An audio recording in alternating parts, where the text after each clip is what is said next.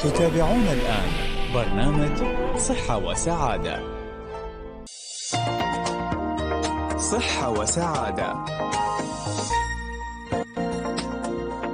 مستمعينا الأعزاء السلام عليكم ورحمة الله وبركاته.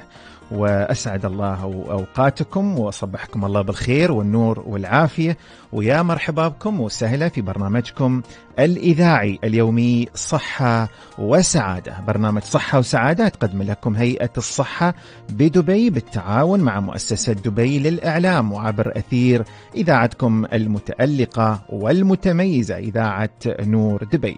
أرحب بفريق العمل معي اليوم في الإعداد الأستاذ يوسف سعد من هيئة الصحة بدبي وفي التنسيق والمتابعة ومخرجنا المتألق دائما الأستاذ نمر محمد. صبحكم الله بالخير والنور والعافية. وأيضا مستمعينا الأعزاء ومن خلال برنامج صحة وسعادة نرحب بتواصلكم ونرحب بملاحظاتكم واتصالاتكم على الأرقام 600 5514 وعبر الرسائل النصية القصيرة SMS 4006 ومستمعينا الأعزاء وقبل نأخذ فقرات برنامجنا لهذا اليوم نحب نذكركم بخصوص موضوع الإجراءات الاحترازية والوقائية بخصوص فيروس كورونا وعلينا جميعا الحقيقة الالتزام بهذه الإجراءات. وأيضا نذكر بخصوص موضوع يعني طبعا نذكر بخصوص موضوع الإجراءات الاحترازية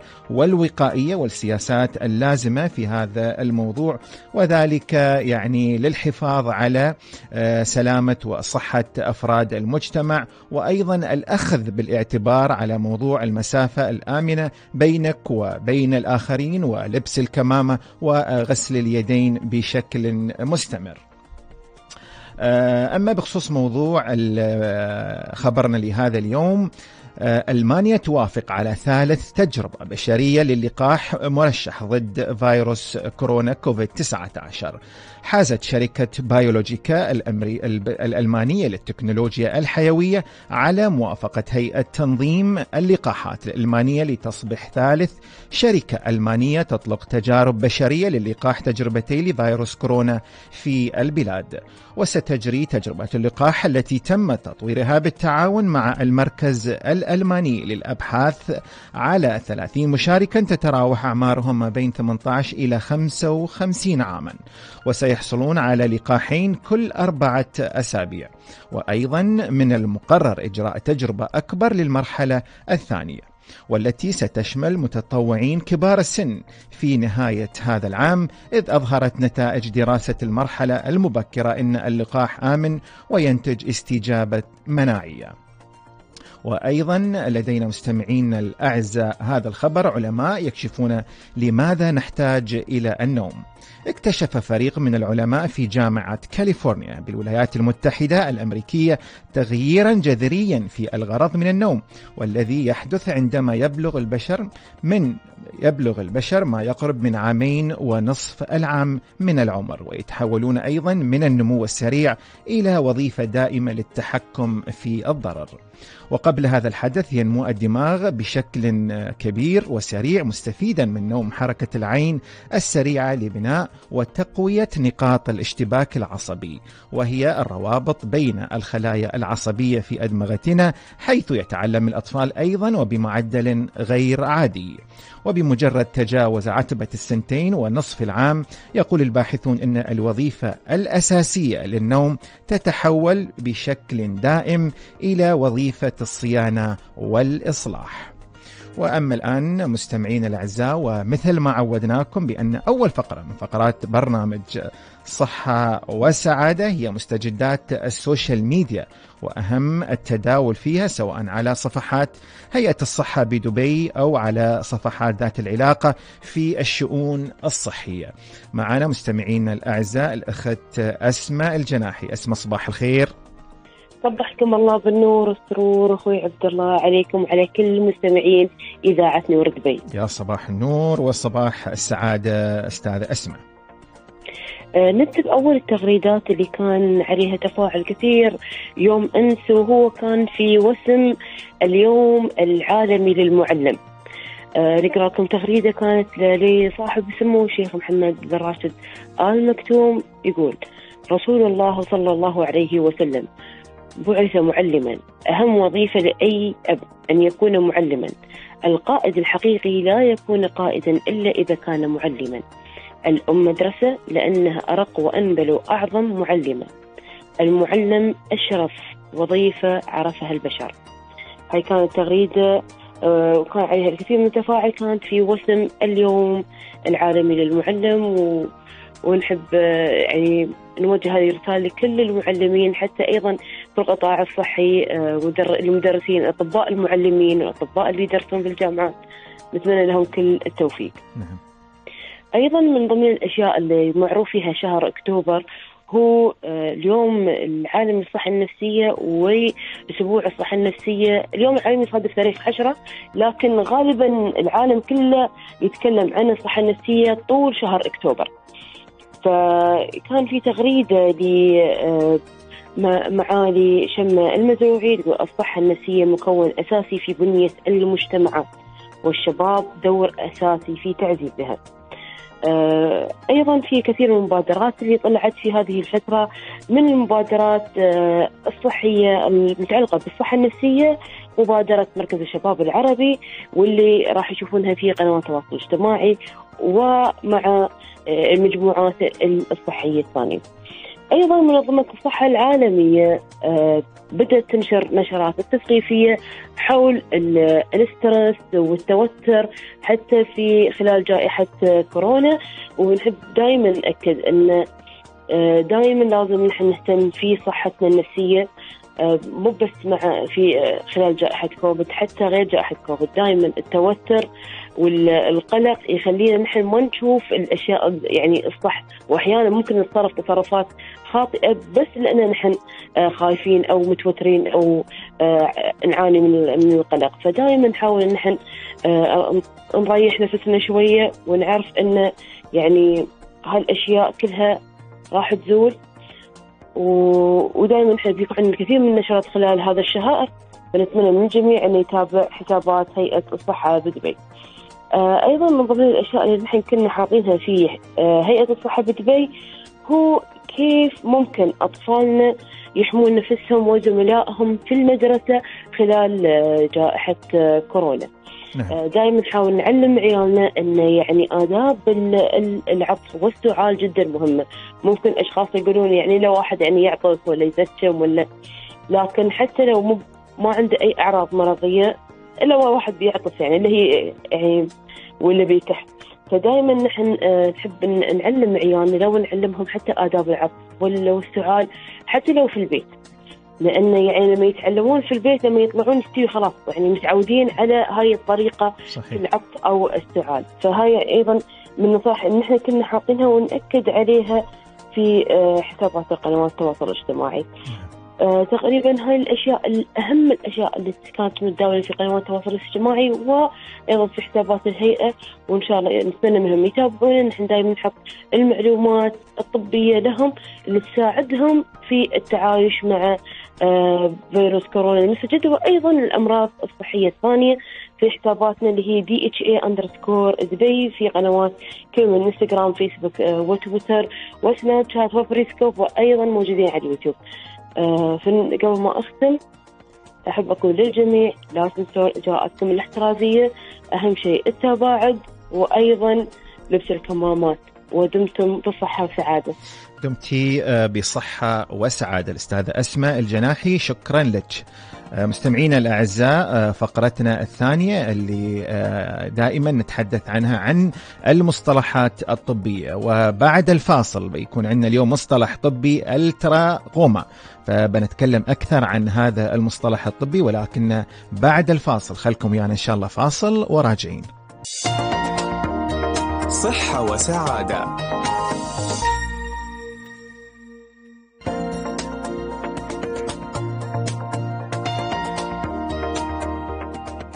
مستمعينا الأعزاء يا مرحبا بكم وسهلا رجعنا لكم مرة ثانية في برنامجكم الإذاعي اليومي صحة وسعادة، برنامج صحة وسعادة تقدم لكم هيئة الصحة بدبي بالتعاون مع مؤسسة دبي للإعلام وعبر أثير إذاعة نور دبي. نذكركم مستمعينا الأعزاء بأرقام التواصل معنا على الأرقام 600 5514 وعبر الرسائل النصية القصيرة SMS 4 006 ومثل ما ذكرنا قبل الفاصل بأن لدينا فقرة المصطلحات الطبية. واليوم مع التراغوما. التراغوما هو مرض يصيب العين بسبب عدوى بكتيريا. وأيضا من المعروف أنها مشكلة صحية عامة في 41 بلدا تقريبا وهي مسؤولة عن العمى أو ضعف البصر لنحو 1.9 مليون شخص في العالم. أيضا العمى من التراغوما لا رجعة فيه كما تقول منظمة الصحة العالمية وأيضا تنشر العدوى بالاتصال الشخصي عن طريق اليدين أو الملابس أو أيضا الفراش وأيضا على اتصال مع إفرازات من عيون أو أنف شخص مصاب. مستمعينا الأعزاء وردتنا ملاحظة من آه، برنامج البث المباشر بخصوص موضوع تطعيم الإنفلونزا وتم التواصل آه، قبل قليل مع إدارة آه، الصيدلة بهيئة الصحة بدبي وتم إبلاغنا بأن التطعيم متوفر في هيئة الصحة بدبي والآن يتم العمل على توزيع التطعيمات للمراكز الصحية الأولية ويتم العمل على ذلك خلال إن شاء الله التطعيم خلال أي أيام القليلة القادمة. آه، أما الآن مستمعينا الأعزاء وفقرتنا الإجراءات الاحترازية لطلبة المدارس مع الدكتورة هند العوضي رئيس قسم التعزيز والتثقيف الصحي بهيئة الصحة بدبي. آه، تعتمد هيئة الصحة بدبي ضمن ما تتخذه من إجراءات شاملة لمواجهة ومكافحة كوفيد-19 على منظومتها الوقائية والبرامج التوعوية والتثقيفية والإرشادات الخاصة بالتدابير الاحترازية وهي تستهدف من ذلك جميع أفراد المجتمع ومن بينهم طلبة المدارس. ومستمعينا الأعزاء للحديث عن هذه الإجراءات وعن الإجراءات الوقائية والتدابير الاحترازية الخاصة بالطلبة يسعدنا ويشرفنا أن تكون معنا الدكتورة هند العوضي رئيس قسم التعزيز والتثقيف الصحي بهيئة الصحة بدبي. دكتورة هند صبحك الله بالخير والنور والعافية. صباح الخير أستاذ عبد الله وصباح الخير لجميع المستمعين. يا صباح النور دكتورة. وطبعا نحن آه، ما زلنا يعني في موضوع يعني الأخذ بالإجراءات الوقائية والاحترازية بخصوص موضوع آه، فيروس كورونا، دكتورة لو تحدثينا نبذه يعني للتذكير بشكل سريع عن طرق انتقال فيروس كورونا. آه، باختصار آه، آه، إحنا كلنا صرنا نعرف إن طريقة انتقال فيروس كورونا هي عن طريق الرذاذ الملوث اللي اللي ينتج عن العطاس أو السعال فهذا هي طريقة انتقال الفيروس ممكن هذا الرذاذ يسافر لمسافة معينة ويستقر على الأسطح فايضا الأسطح الملوثة قد تكون إحدى أسباب انتقال فيروس كورونا. نعم. آه، دكتورة هناك الكثير من آه، الإجراءات الوقائية بخصوص آه، موضوع فيروس كورونا. لو تحدثينا دكتورة يعني اختصت طبعا هيئة الصحة بدبي طلبة المدارس خلال هاي المرحلة بأدلة والكثير من البرامج التوعوية والإرشادات ونشرات أيضا توعية مختلفة بخصوص هذا الموضوع، لو تحدثينا عن هاي الإجراءات دكتورة وعن القواعد أيضا للوقاية السليمة من كوفيد 19.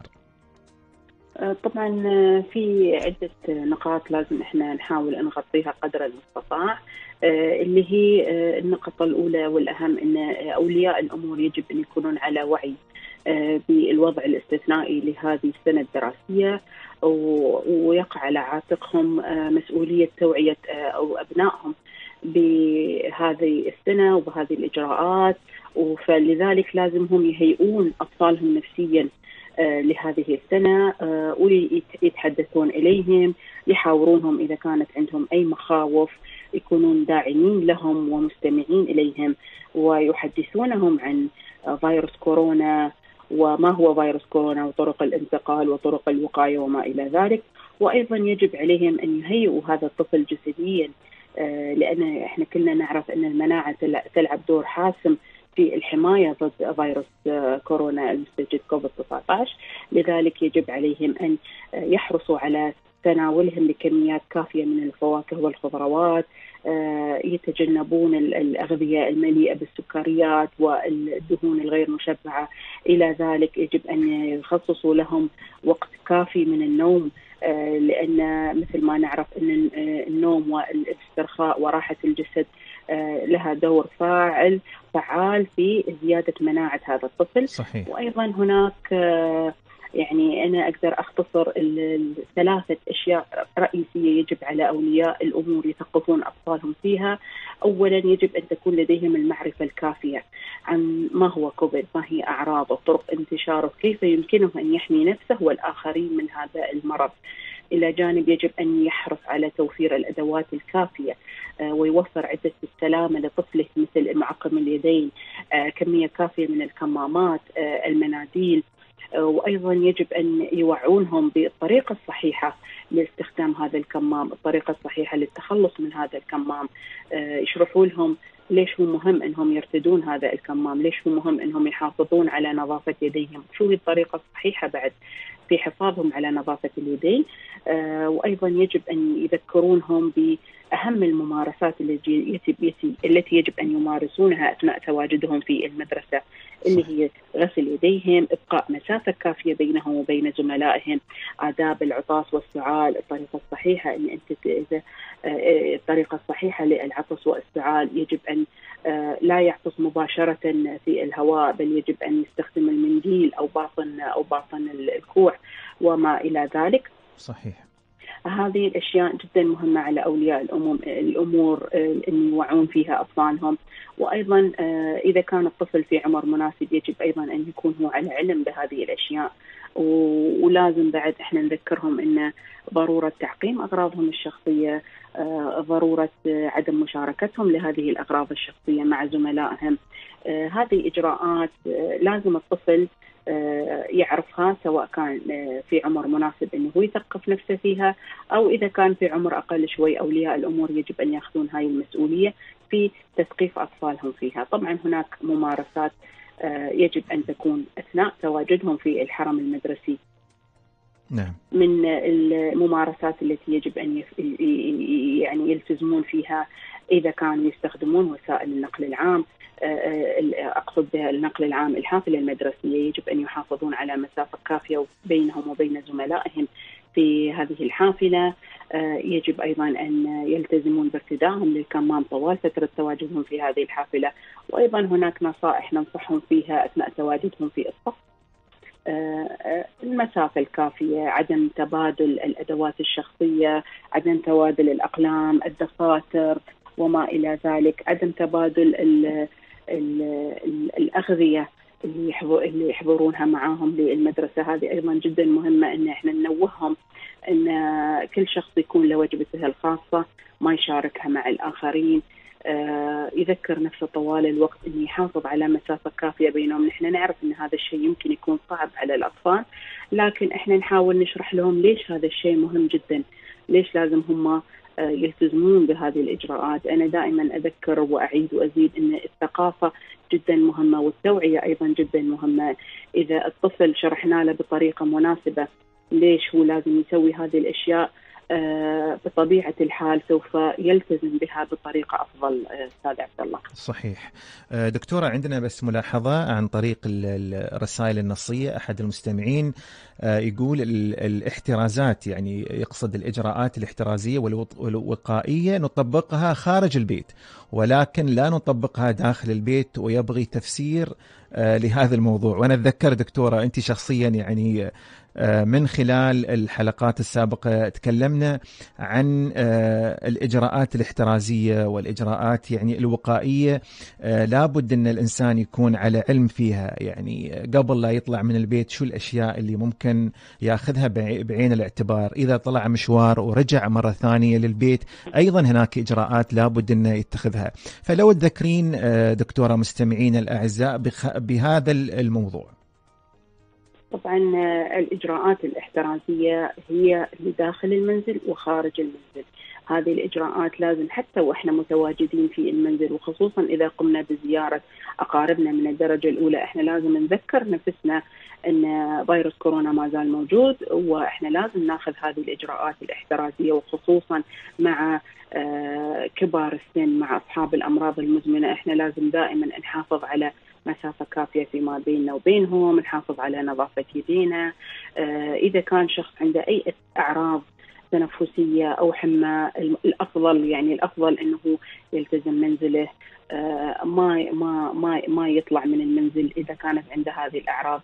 يتأكد إذا هذه هذه الأعراض كانت آه، أعراض عادية أو أعراض يشتبه بإصابته بكوفيد هذه بعد لازم هو يتأكد منها وخصوصا إذا كان مخالط لشخص عنده آه، تأكدت إصابته بكوفيد.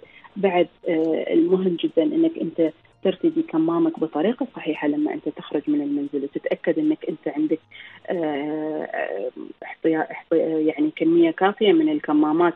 الكثير ياخذ كمامة واحدة وما ياخذ معاه كمية كافية. إحنا نتأكد سبحان الله يمكن هذا الكمام يتبلل يتمزق. فإحنا نتأكد انه دائما عندنا كمام احتياطي معقمات كافية. وما ننسى دائما إن إحنا آه، الإجراءات الوقائية هذه طوال الوقت. وطبعا لما نرجع للمنزل لازم نتأكد إن إحنا آه، حذائنا نحطه في مكان معين. إحنا نفضل إن نعقم هذا الحذاء.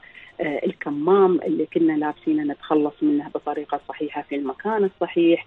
آه، اذا كانت عندنا آه، ادواتنا الشخصيه أو بعض المشتريات اللي اشتريناها نحطها في مكان معين عشان إحنا نعقمها في وقت لاحق. الملابس اللي إحنا كنا مرتدينها إحنا نفضل ان إحنا نحطها في سلة الغسيل للغسيل إلى جانب يا إن إحنا نستحم أو على الأقل نغسل الأماكن اللي كانت مكشوفة من جسمنا آه وبعدين إحنا هني بعد ما نتأكد إن إحنا قمنا بكل هذه الإجراءات بعدين إحنا نقدر نقضي وقت ممتع مع أفراد العائلة المتواجدين في المنزل. صحيح. فهذه الإجراءات لازم دائما نذكر نفسنا إن صحيح آه، إن آه، إحنا حين شوية خففنا من القيود والمعايير لكن ما زال فيروس كوفيد 19 موجود وإحنا نعتمد بشكل كبير على وعي المجتمع وما شاء الله المجتمع جدا واعي وجدا مثقف فاحنا على ثقة انه آه، إذا كانت عندهم الوعي الكافي والمعرفة الكافية إن شاء الله راح نقدر نتجاوز هذه الجائحة. نعم. آه، دكتورة هند العوضي رئيس قسم التعزيز والتثقيف الصحي بهيئة الصحة بدبي، الحقيقة يعني جهود كبيرة كل الشكر والتقدير لكم على جهودكم الكبيرة في موضوع توعية أفراد المجتمع عن الإجراءات الاحترازية والوقائية الخاصة بفيروس كورونا. شكرا لك دكتورة. العفو أستاذ عبد مست... مستمعينا الأعزاء بناخذ معاكم فاصل وبعد الفاصل عندنا موضوع آه الغذاء الصحي للوقاية من سرطان الثدي مع أخصائية التغذية الأستاذة عليا الدخان والكثير في هذا الموضوع. فاصل وراجعين. صحة وسعادة.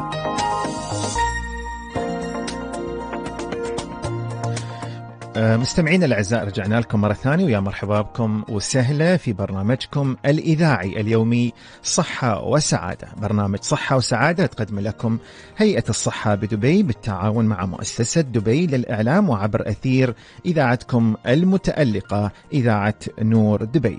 وأيضا من خلال برنامج صحة وسعادة نرحب بتواصلكم مستمعينا الأعزاء باتصالاتكم واقتراحاتكم على الأرقام 60 صفر خمسة خمسة واحد أربعة واحد أربعة وعبر الرسائل النصية القصيرة. SMS أربعة صفر صفر ستة. وناخذ فقرتنا الثانية فقرة الغذاء الصحي للوقاية من سرطان الثدي. من الأمراض الصعبة والمزمنة التي تصيب المرأة يأتي سرطان الثدي الذي يمتد أثره الاجتماعي والنفسي ومشاكله إلى جميع أفراد الأسرة. لكن يظل عامل الوقاية هو الأهم والتغذية السليمة للحماية من هذا المرض أيضا متوفر ومتاح. وهذا وبالتحديد ما سنتحدث عنه مع الأستاذة عليا دخان أخصائية التغذية السريرية في هيئة الصحة بدبي. أستاذة عليا صبحت الله بالخير والنور والعافية. صباح النور. آه اليوم طبعا موضوعنا مهم آه خاصة أن شهر أكتوبر هو شهر التوعية بمرض سرطان الثدي. نعم. فبإذن الله بنناقش كيف الأطعمة ممكن يكون الغذاء جزء أساسي للوقاية من مرض سرطان الثدي. فطبعا ال- سرطان الثدي له أسباب مختلفة ممكن يكون عامل وراثي آه، في عوامل مختلفة آه، للإصابة بمرض سرطان الثدي ولكن بن- بنركز على ال- ال- العوامل اللي ممكن نحن نتحكم فيها ونقدر آه، آه، نتجنبها. أول شيء ال- الوزن الزايد أو السمنة تعتبر أيضا من عوامل الخطورة زيادة آه، الريسك أو العامل الخطورة للإصابة بسرطان الثدي. فدائما ننصح بالمحافظة على وزن صحي آه، وما يتجاوز ال- ال- الوزن المثالي. أيضا في دراسات بينت حتى زيادة ب 10% في دراسات أخرى حتى وصلت ل 40% زيادة الوزن عن الوزن المثالي قد تزيد العرضة بالإصابة بسرطان الثدي. فدائما ننصح بالمحافظة على الوزن قدر المستطاع على الوزن يكون قريب من الوزن الصحي أو الوزن المثالي. آه، أيضا عندنا الرياضة طبعا آه، الكسل والخمول من العوامل ال- ال- اللي تسبب آه، عندنا زيادة في ال- العرضة. فنحن دائما ننصح بالرياضة. على الأقل نمارس ما يعادل الأربع ساعات اسبوعيا. نقدر نقسمها على على مدار الأسبوع من النشاط البدني مثل الرياضة الخفيفة والمشي. آه، بالنسبة للغذاء بنركز فيه أكثر طبعا. آه، آه، تناول الوجبات ال- الأغذية اللي تكون أغلبها آه، من مصادر نباتية. هذه يعني أغلب الدراسات تنصح فيها. مو بنظام غذائي بحت ولكن الأغلب فيه يكون من مصادر نباتية. آه، بمراعاه ان نحن نقلل اللحوم الحمراء واللحوم المصنعة خاصة. أيضا النظام الغذائي لازم يمتاز يكون غالي عالي بالألياف وعالي بمضادات الأكسدة. آه، طبعا الأكسدة في الجسم هي كيف تشتغل يعني هي هي عامل تفاعل يكون آه، يؤدي إلى تلف الخلايا فهذا يزيد طبعا عندنا الخط- الخطورة. آه، فمضادات الأكسدة غنية جدا ومتوفرة بشكل كثرة في الخضار وفي الفواكه. آه، ممكن نعطي بعض الأمثلة مثل عندنا مجموعة اللي هو القرنبيط ال- الملفوف والبروكلي. آه، هاي المجموعة من الخضار آه، غنية بمادة مادة الفايتوكيميكلز هذه بعد تحارب أو تقي أيضا من سرطان المواد السرطانية. عندنا الثوم والبصل أيضا في مركبات تعطينا وقاية وحماية. عندنا الفيتامين C كمصدر أساسي لمضادات الأكسدة. والفيتامين C يعني متوفر في في وايد من الخضار والفواكه مثل الحمضيات مثل ال- الفلفل البارد الكيوي. عندنا وايد فواكه وخضار غني بال يعني فيهم نسبة الفيتامين C ومضادات الأكسدة عالية. فنحرص إن هاي ال- الأكلات نخليها ضمن وجباتنا اليومية. آه، أيضا عندنا ال- ال- الشاي آه، الشاي الأخضر أو الشاي الأحمر. بعد يحتوي على ال- ال phenols أو ال flavonoids. هذه المواد الكيميائية بعد الطبيعيه في الشاي. آه، بعد تساعد آه، على حماية الجسم. عندنا الطماطم آه، خاصة مادة اللايكوبين اللي موجودة في الطماطم آه، تكون فعالة أكثر مع الطبخ. آه، بعد ننصح باستهلاكها أكثر. آه، وأيضا عندنا الجزر آه، أو عصير الجزر ممكن ناخذه كعصير. آم، أيضا متوفر فيه بنسبة كبيرة مادة ال- البيتا كاروتين آه، وأيضا تعطينا حماية خاصة لسرطان الثدي، فهاي بعض الأكلات اللي نحاول نضيفها آه، على نظامنا الغذائي كعوامل آه، حماية. نعم أيضا أستاذ علي دخان هناك بعض ال ال يعني ال الأكلات السليمة اللي يعني ينصح ب ينصح بخبراء التغذية لحماية المرأة من سرطان الثدي. وأيضا هناك يعني بعض الأشياء أن يمكن أن المرأة تتجنب من هاي الأكلات. لو تحدثينا في هذا الموضوع بشكل سريع. آه صح. آه نحاول دائما نقلل آه استهلاك الدهون المشبعة. نعم. دائما الدهون المشبعة تأثر علينا بشكل سلبي. فنستبدلها بالدهون الصحية اللي مثل زيت الزيتون الزيوت النباتية. نبتعد عن الم- الأشياء المقلية خاصة تكرار استخدام الزيت نفسه. ممكن يكون مواد آه، أيضا ال- الشوي أو التدخين اللحم اللي لما يكون عندنا طبقة ال- الحرق يعني على اللحم مو بس الشوي العادي. هذه بعد من المواد ال- اللي تكون ضارة نحاول نبتعد عنها. آه، السكر هو عدو عدو ل- للجسم وصديق للسرطانات. فالسكر الأبيض آه، أو الأكلات اللي هي الحلويات ال- المشروبات الغازية اللي فيها نسب كبيرة من السكر. نحاول أيضا الابتعاد عنها آه، أو تقليل استهلاكها قدر المستطاع لأن السكر آه، ما في قيمة غذائية وفي نفس الوقت ممكن يرفع لنا آه، معدلات الإنسولين في الجسم ويرفع لنا الوزن. وهي كلها عوامل خطورة أيضا للإصابة بمرض السرطان.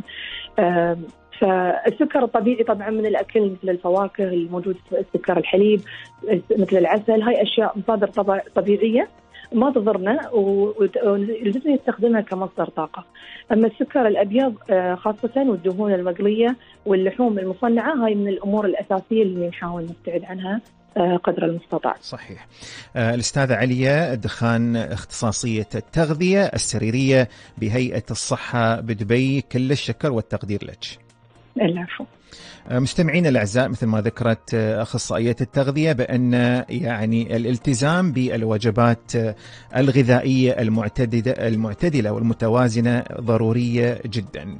وبعد ومن فقرة الغذاء الصحي للوقاية من سرطان الثدي إلى التقنيات والحلول الذكية في هيئة الصحة بدبي، دائما هيئة الصحة بدبي تسعى إلى مجتمع أكثر صحة وسعادة وإلى مستقبل صحة أفضل وهي تؤمن أن ذلك يبدأ بخدمات طبية عالية الجودة تفوق توقعات متعاملين هيئة الصحة بدبي وتجدد حياة المرضى وتدرك الهيئة في هذا الجانب إن التقنيات والحلول الذكية وسيلتها المهمة لرفع مستوى خدماتها وتحسين نظام الرعاية الصحية بوجه عام.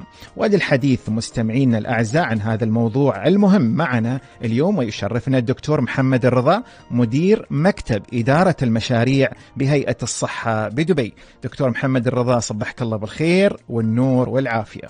بالنور والسرور الله يحييك دكتور محمد طبعا آه، هيئة الصحة بدبي دائما آه، وبشكل آه، يعني آه، مستمر آه، هناك يعني تجديد وهناك دائما خدمات جديدة ودائما تطبيقات ودائما حلول ذكية مثل ما ذكرنا في بداية آه، المقدمة تسعى دائما إلى سعادة متعاملينها. وأيضا هناك دكتور محمد الرضا فريق المسرعات في هيئة الصحة بدبي الذي يعني يعمل جنبا بجنب إلى مسرعات يعني مع برنامج مسرعات دبي للمستقبل وأنت دكتور بشكل خاص يعني لك دور حيوي ومهم في هذا الموضوع لو تحدثنا بشكل سريع عن هذا الفريق وهذا التعاون المهم.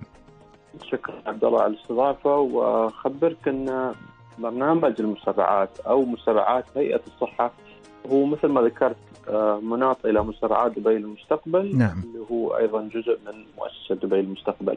تم إنشاء هذا البرنامج في سبتمبر 2016 آه، بتوجيهات حكومية سامية بحيث أن الهيئة أو حتى الهيئات الحكومية الأخرى تكون مواكبة لمتسرعات ومتغيرات التقنيات الحديثة اللي في العالم. كان التوجه أن التقنيات الحديثة يجب أن تكون متواجدة في إمارة دبي بشكل سريع وشكل آني. طبعا كان فيها تحديات كبيرة للقوانين، التشريعات، التنظيمات، هذه الأمور كلها نحن تشكل ما أبغى أقول آه، عائق ولكن آه، كانت تحدي والحمد لله الهيئات الحكومية كلها تجاوبت والأمور القانونية والشؤون القانونية أيضا آه، واكبت هذه التغيرات. مثل ما تعرف التقنيات هذه دائما تثير الجدل طيب نحن كنا نعمل بهذه الطريقة والآن نعمل بطريقة أخرى. صحيح. هذه الطريقة الأخرى محتاجة إلى سن قوانين وتشريعات وأنظمة بحيث أن آه، نحن أيضا ما يعني ما نكون خارج القانون. آه، نكون مواكبين مع آه، يكون القانون أيضا مواكب إلى التغييرات هذه ونحن أيضا ما نكون في المحظور. فدائما يقول لك الابتكارات هذه أو الإنوفيشن تكون آه، مش قانونية 100% ولكن تكون يعني محفزة لإنشاء قوانين وأنظمة وتشريعات جديدة وهذا الشيء اللي شفناه والتمسناه في حكومة دبي إن الإخوان كلهم كانوا متجاوبين مع هذا الشيء، فهذا كان يمكن من أهم الأشياء اللي واجهناها من 2016 والحمد لله الآن إحنا في 2020 بنوصل إلى الدورة الثامنة أو التاسعة حتى آه، حاليا آه، قيد الأعداد لاستقطاب الشركات الناشئة. دائما نتعامل مع الشركات الحديثة الناشئة اللي هي عندها ابتكارات وتقدر آه، تمشي معاك بسرعة أكبر، طبعا في شركات كبيرة دخلت ويانا في كذا دورة. صحيح. آه شركات كبيرة لها أسامي رنانة. ولكن لما تشوف انظمتها تشوف إن حتى هم عندهم نوع من الحوكمة آه اللي تمنعهم إنهم يتحركون وياك بطريقة سريعة. آه نحن نشوف الاثنين نشوف الشركات الصغيرة الناشئة ونشوف الشركات الكبيرة والمتطورة. وناخذ الأفضل دائما لهيئة الصحة والأفضل دائما لخدمة أطبائنا لأنهم يخدمون مرضانا في النهاية. نعم. آه، أيضا دكتور محمد مثل ما ذكرت بأن الهيئة مهتمة جدا بشكل كبير في موضوع يعني التقنيات الحديثة وأيضا في موضوع يعني مسرعات المستقبل. أكيد يعني دكتور هناك يعني آه، أنتم يعني تعملون مع فريق عملكم بمعايير واشتراطات مثل ما ذكرت آه، دكتور محمد. ما هي المعايير التي تم تحديدها في موضوع يعني الاستحواذ على هاي التقنيات لهيئة الصحة بدبي؟ دبي؟ والله شوف من اهم المعايير اللي يجب ان إحنا ننظر فيها اللي هي معايير الذكاء الاصطناعي. نعم. اليوم أنا عندي حوكمة معينة تحكم الموظف إذا هو بيبت في أمر أو بينظر في أمر، طيب باكر إذا هذا الموظف تم استبداله أو تم استبدال الجوب ديسكربشن ماله أموره الوظيفية بالذكاء الاصطناعي، شو الحوكمة اللي لازم نحطها؟ وشو القوانين اللي لازم نحطها؟ فهذه من التحديات اللي امامنا ومثل ما ذكرت إن يعني حتى مثلا آه، دائرة دبي الذكية آه، شغالين على هالقوانين هذه شغالين على هاي التشريعات بحيث إن ما نكون روحنا آه، ونغرد خارج النص بحيث إن نمشي كمنظومة متكاملة لحكومة دبي لأن الكل بيستفيد سواء قانون تم سنة أو تشريع تم وضعه في هيئة الصحافة دبي يمكن يستفيدون منه الإخوان في الهيئات أو المؤسسات الثانية التابعة لحكومة دبي. نعم. آه، دكتور محمد أيضا يعني هيئة الصحة بدبي آه، قطعت شوط كبير جدا في يعني الاستفادة من آه، مثل ما تفضلت دكتور التقنيات الحديثة والحلول الذكية ليس فقط يعني في جانب ال ال ال الأمور الإدارية بل أيضا في يعني ال ال ال الجراحات الكبرى العمليات الجراحات والعمليات الدقيقة. دكتور لو تكلمنا في هذا الجانب يعني كيف ساعدت هاي التقنيات في هذا الجانب؟ بذكر لك أحد الأمثلة مع الدكتور بلال يافاوي اللي هو جراح آه، العظام استشاري جراحة العظام في مستشفى راشد نعم الدكتور كان عنده آه، تحدي معين في آه، وضعية يعني العملية أثناء الجراحة بحيث أنه يكون واصل إلى دقة 100% في جراحات العظام. نعم. شفنا أحد التقنيات اللي يسموها النافيجيشن شفنا ان هي من جراح من التقنيات اللي بتساعده مو بس إنه يوصل لدقة 100% ولكن أيضا بينزل وقت العملية بنسبة كبيرة. فتم الاتفاق مع الدكتور بلال إن هذه التقنية بيتم الاستحواذ عليها آه، بنجربها بنشوف مدى آه، قابلية استخدامها مدى قابلية دمجها مع أنظمتنا الحالية في هيئة الصحة لأنه محتاجة توافق آه، نسميه انتر بين أنظمتنا وبين الجهاز الجديد أو التقنية الجديدة. فنتأكد أيضا في المقام الأول أن هذا الجهاز يكون آمن للاستخدام على المريض يعني نحن بيشنت سيفتي أو آه الأمور يعني صحة المريض هي الأغلى عندنا والمحافظة على صحة المريض وأمان المريض هي بالدرجه الأولى الفيصل عندنا، فإذا تأكدنا من هذه الأمور موجودة في هذه التقنية يتم الاستحواذ عليها، يتم تدريب الكوادر البشرية عليها آه، بالاتفاق مع دائما نسميه الطبيب الرائد صحيح. اللي هو آه، يستحوذ على هذه التقنيات ويجربها ومثل ما تقول دائما مواكب على آه، للأمور التقنية الحديثة لأنه يخدم مش فقط الهيئة يخدم مريضة في النهاية، في النهاية ترى المريض بتستوي له آه، مضاعفات أقل. بيتم يعني وقت الإقامة عنده في المستشفى بتكون أقل وأيضا النتيجة بتكون أفضل. والطبيب أيضا بدل ما يسوي خمس أو ست عمليات في اليوم الآن ممكن يعمل ثمان إلى عشر عمليات. والسبه هذه التقنية اللي قللت الوقت وقللت أيضا الاستهلاك في غرفة العمليات. صحيح. آه، دكتور محمد أيضا آه، الجميل في الموضوع نحن قبل فترة آه، كنا يعني قرينا أو يعني حضرنا الحقيقة البث المباشر لإحدى العمليات الرئيسية من مستشفى راشد بهيئة الصحة بدبي إلى خارج يعني الإمارات إلى إلى فرنسا. أنا أتذكر وكان يعني استخدام هاي التقنيات الحديثة بحيث أنه يتم بث العمليات هاي آه، بشكل مباشر آه، يعني تهدف إلى آه، أيضا يعني تدريب الجهات الأخرى والمستشفيات الأخرى في العالم على يعني استخدام هيئة الصحة بدبي. هاي التقنيات الحديثة مثل ما تفضل دكتور في عمليات قد تكون يعني نادرة أو قد تكون يعني دقيقة جدا. صحيح عبد الله يعني سواء كان مستشفى راشد أو المستشفيات الاخرى الحكومية في إمارة دبي أو حتى القطاع الخاص نعم. اليوم ما شاء الله عليهم نشوفهم آه، مواكبين للتقنيات الحديثة وهذه التقنيات آه، دائما الشركات تقول لنا نحن نجد في دبي ملاذ آمن لنا لاستخدامها. صحيح. آه، توجيهات سيدي سمو الشيخ حمدان بن محمد بن راشد المكتوم ولي عهد دبي رئيس المجلس التنفيذي لإمارة دبي أن نريد نعمل من دبي أكبر منصة لاستخدام هذه التقنيات الحديثة. ودعمه هو سواء كان دعمه الشخصي صراحة اللي نحن التمسناه وشفناه في مسرعات دبي المستقبل ودعم فريق عمله أيضا لاحتضان هذه التقنيات في إمارة دبي جعلت من إمارة دبي ودولة الإمارات آه، مثل ما قلت لك مدينة تستقطب هذه التقنيات الحديثة وهاي الشركات لها خاصية معينة عبد الله إنها تبغي من يدعمها أيضا. هي مو بجاية بس تعرض التقنيات هذه، هاي التقنيات الحديثة تبغي من يحتضنها، تبغي من يجربها، تبغي من يدعمها أيضا. ف عن طريق برنامج مسرعات بين المستقبل قدرنا أن ندعم كثير من الشركات اللي هي موجودة حاليا عندنا في إمارة دبي. آه، قدرت آه، تخطو إلى الخطوة الثانية في مراحلها التقدمية كشركة وكتقنية. نعم. آه، دكتور محمد عندنا دقيقة ولكن لازم أتكلم عن هالموضوع لأن هذا الموضوع الحقيقة جميل وخدمة الحقيقة جميلة ويعني لها استفادة كبيرة جدا ل آه، يعني متعاملي هيئة الصحة بدبي ألا وهي تقنية ثلاثية الأبعاد. إحنا نبغى نعرف دكتور على السريع شو هي المجالات والتخصصات اللي تستخدمها هيئة الصحة بدبي عن تقنية ثلاثية الأبعاد وكيف يستفيد أيضا المرضى مما تمتلكه الهيئة من تقنيات حديثة وذكية في هذا الموضوع. دكتور محمد عندك دقيقة فقط.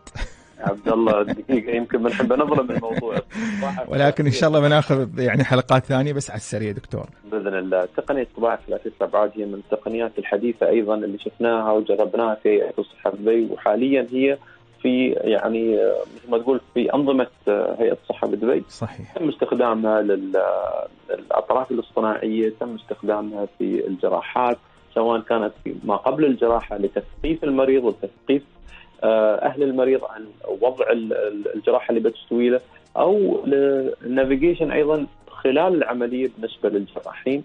وأيضا يعني أبشرك تم يعني إدخال المطبوعات اللي هي عن طريق ال 3D printing إلى جسم المريض. آه، اليوم نحن كلنا نؤمن بأن التيتانيوم هي مادة آمنة لإدخالها نعم. في جسم المريض ولكن إذا طبعناها عن طريق الطباعة ثلاثيه الأبعاد أصبحت يعني مش فقط آمنة آمنة ومطابقة 100% لجسم المريض نعم. فبالتالي نعم. الحمد لله صارت عندنا نتائج طيبة عن الطباعه ثلاثيه الأبعاد نعم. وهي وهي تقنية ذات أبعاد بعيدة الصراحة يعني صحيح صح آه مثل ما تقول طبقها في كثير من الأشياء نعم. وأيضا شفنا في آه يعني المراحل السابقة أن ساعدتنا في كثير أشياء تخص خلال آه فترة الجائحة اللي هي طباعه يعني الفيس ماسك أو آه نعم الكمامات اللي هي آه، تقي النظر أيضا مش فقط الأنف أو ال أو ال أو ال آه، يعني صار عندنا نحن نقص في هذه الأمور لكن قدرنا نحن نتداركها بطريقة جميلة ووصل الاطفال لطباعه ثلاثة الابعاد. دكتور محمد الرضا مدير مكتب إدارة المشاريع بهيئة الصحة بدبي وحديثنا كان معك عن التقنيات والحلول الذكية في هيئة الصحة بدبي. دكتور حديثنا معك شيق وثق تماما. إن شاء الله بناخذ حلقة كاملة عن موضوع يعني آه، الثلاثية تقنية ثلاثية أبعاد إن شاء الله في الحلقات القادمة. بإذن الله.